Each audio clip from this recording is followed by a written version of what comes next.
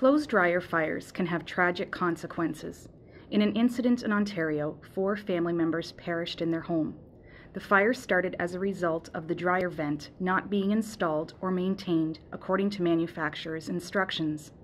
This tragedy devastated not only the family, but also friends, firefighters, and the entire community. For most of us, clothes dryers have become a part of our daily routine, but the leading cause of dryer fires in the home is lack of dryer maintenance. Here are some simple tips to help keep you and your family safe. Take a few minutes to read your dryer's user manual and check that your dryer is installed according to the manufacturer's instructions. Having your dryer installed by a professional and according to the manufacturer's instructions is a good place to start in reducing the risk of a fire. Debris and objects blocking the outside exhaust opening for the dryer can be a serious problem. Move all objects and clear any debris that block the exhaust opening on the outside of the house. Also, check the vent flap opening to see that it opens. After every load of laundry, be sure to clean the dryer's lint screen. Lint can also be trapped in the dryer's vent pipe.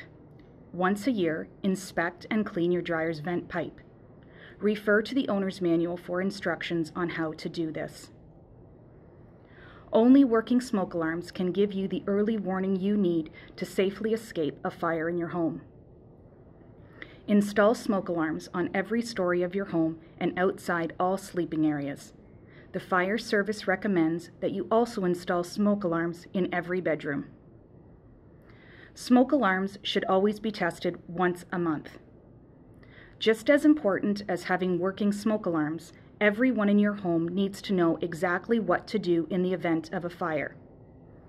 You need a home escape plan, and you also need to practice that plan. Make sure you have a plan that's going to help anyone in your home who needs extra assistance, for example, young children, older adults, or people with disabilities. Following these safety tips can prevent clothes dryer fires and help keep your family and homes safe from fire.